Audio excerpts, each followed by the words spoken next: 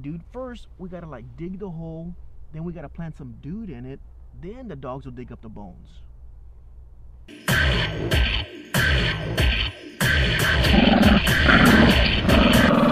he is. That son of a bitch bit me on the boob.